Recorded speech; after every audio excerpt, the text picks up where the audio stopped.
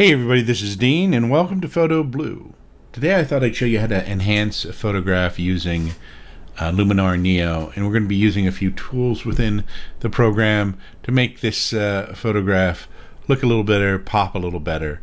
Uh, and so to start off with, there's this phone line here that I want to get rid of. So we're going to go down to Erase and we're going to click on Remove Phone Lines. It's going to take a minute for it to calculate it out.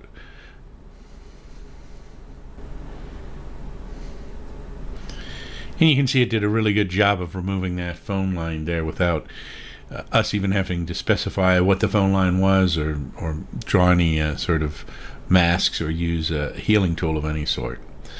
So the next thing we want to do is we want to go up to Develop Module and we want to take the shadows and bring them up a little bit and bring the highlights down a little bit so that we get more detail in our clouds and maybe bring this exposure back up slightly. So if we turn this off, you can see we've brightened it up a little bit. So the next tool we're going to go to is actually called Enhance right here. And so we're going to go to Enhance.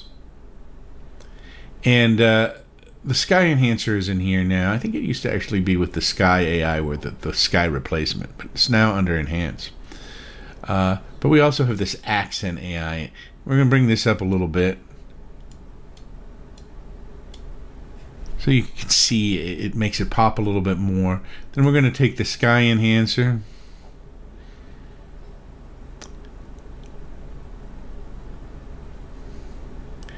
I think we'll go right around there. So you can see that it, that's brought out the sky a lot more right there. If we go back to what our original looked like, this is what we started with. This is what we have with right now. And uh, but there's one more th thing I'd like to uh, kind of highlight here. If we go to landscape, there is a foliage enhancer right down here. And so I'm going to pull this over a little bit. You don't want to do too much probably. And you see we've brightened uh, the uh, green a little bit right there. It's probably about as much as you want, and we can exaggerate it a little bit. You can see we can bring it up even more than that, but we don't want to exaggerate it too much.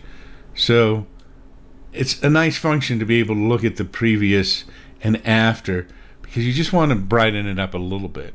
So if we go back to what the original photo looked like, it looked like this, and now it looks like this. So you can see just using a combination of some of the tools in Luminar Neo, you can really make a picture pop and improve it.